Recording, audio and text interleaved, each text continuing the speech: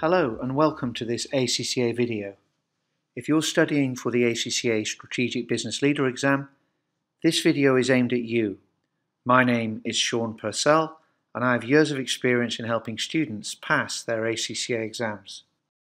In this video, we're going to debrief question 4 and there are other videos in the series which will debrief the remaining questions.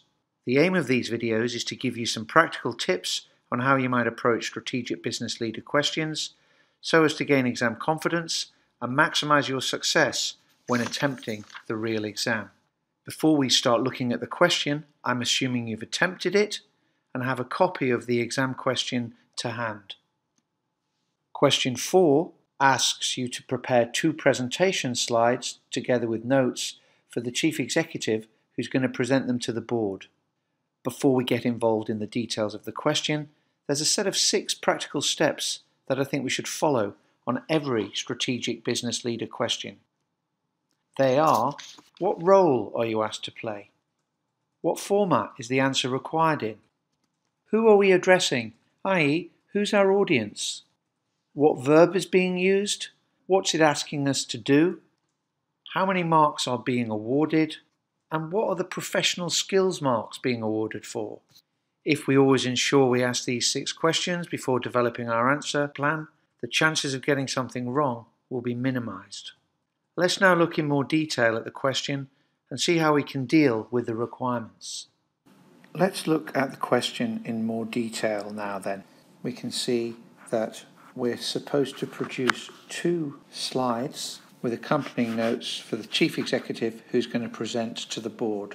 So slightly convoluted requirement, but you're the chief, you're giving notes to the chief executive, he's going to present them to the board. There's two of them, and in each slide, the first one, the verb we're talking about, discuss the benefits and costs of investing in big data, and the second one asks us to evaluate the possible opportunity of undertaking uh, long term infrastructure management of roads in the three countries. There's eight marks awarded with two professional skills marks for communication skills. So, as always, when we look at a question, let's take the six steps. So, what's my role? My role is I'm a consultant. The format required are two presentational slides. I'm producing these for the CEO who's going to present them to the board. And the verbs are about discussing benefits and costs for slide one and evaluating the opportunity for slide two. I'm going to get a total of eight marks. There are two slides, so we break that into four by two. They're technical marks. Professional skills marks are for communication skills. I'm going to go into a bit more detail in a moment on this, but when professional skills marks are awarded for communication skills, it's very important that we observe the format because if you fail to follow the format, you will not get any professional skills marks.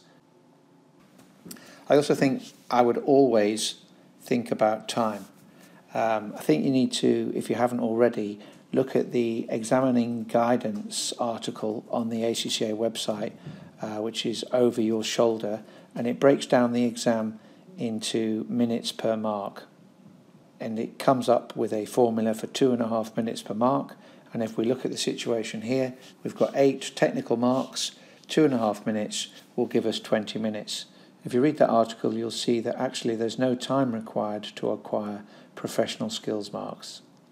So if I've got 20 minutes in total, I'm going to split the answer in half 10 minutes for slide one and 10 minutes for slide two. And the other tip I would say, just to make sure that we don't deviate from this time, is I would actually write down start and finish for each slide, physically write down the time and make sure I stick to it.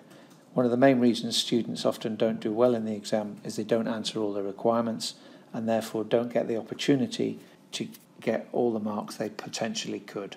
So that's where we start. The other thing that we also should always start with is looking at the professional skills marks. So professional skills marks here are for communication. Again, there is quite detailed help you can find off the ACCA's website on this, but very uh, kind of briefly, we need to inform, persuade and clarify. Try and remember those headings and if we do that we'll be absolutely fine.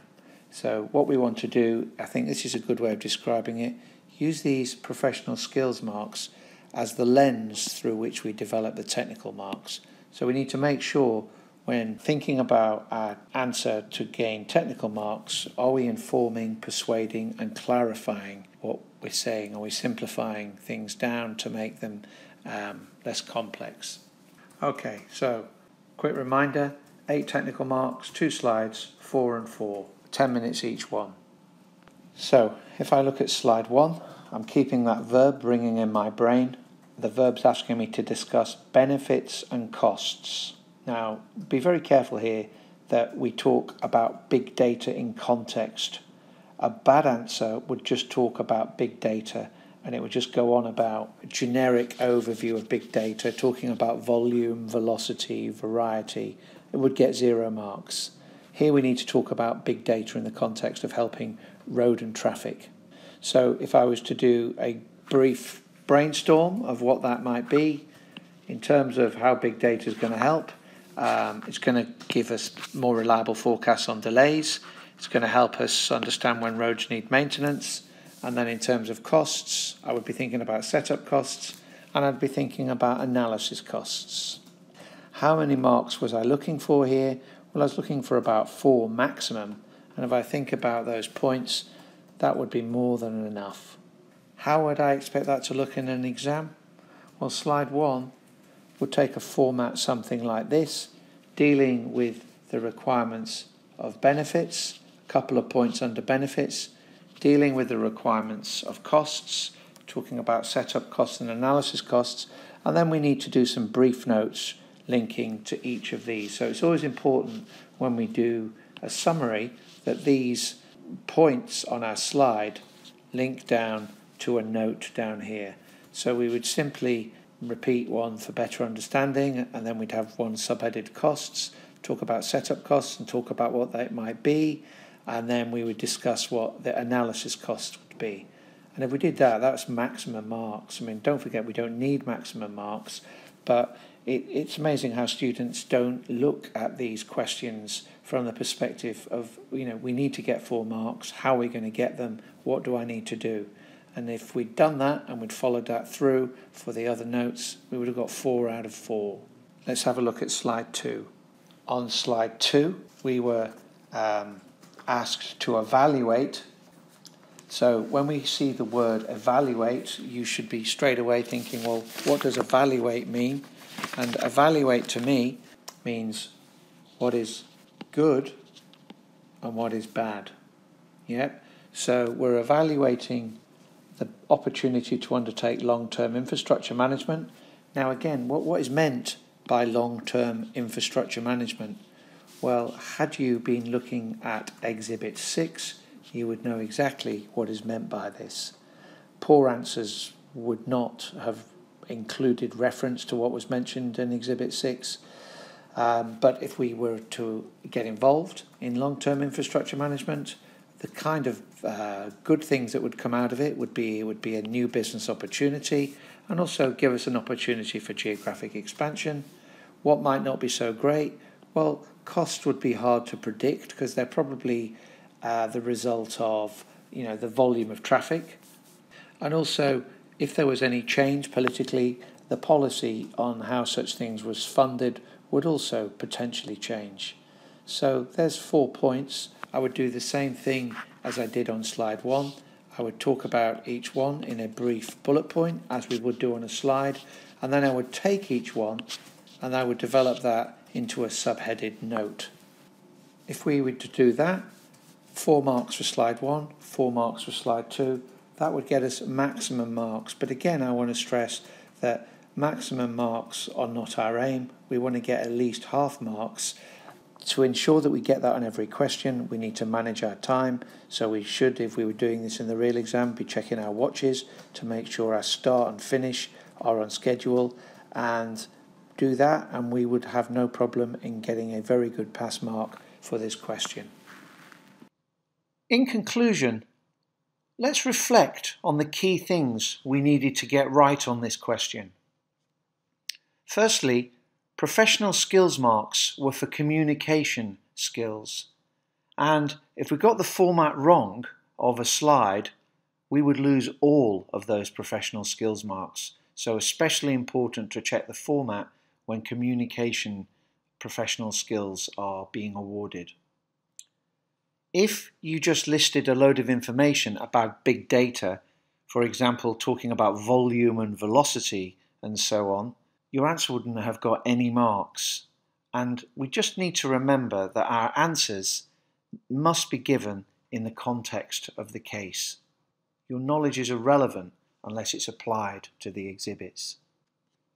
And then finally, careful time management and mark focus is always relevant so as to assure we're as efficient as possible. And on this question, we should have been spending half our time on each slide. This is a one of a series of question debriefs. You'll find lots of other fantastic resources to help you with your strategic business leader preparation at accaglobal.com. Have a look at the examiner's report and the examiner's answer. However, also remember that the examiner's answer is there for tutorial purposes and is much more than would be expected from students in the actual exam. It's also worth looking at the article on the 10 things to learn from the SBL's September sitting. I hope you found this debrief useful and I'd like to wish you all the very best of luck in your future studies.